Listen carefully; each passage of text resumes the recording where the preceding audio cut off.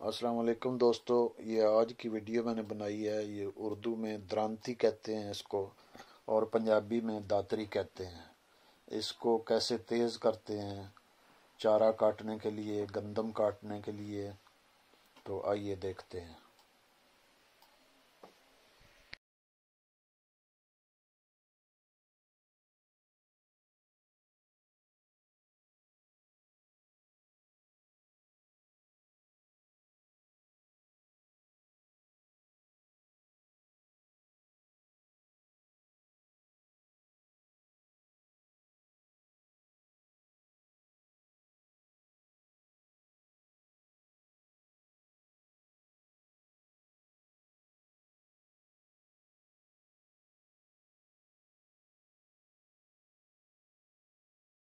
उम्मीद है आपको वीडियो पसंद आई होगी तो अगली वीडियो तक अल्लाह हाफिज़।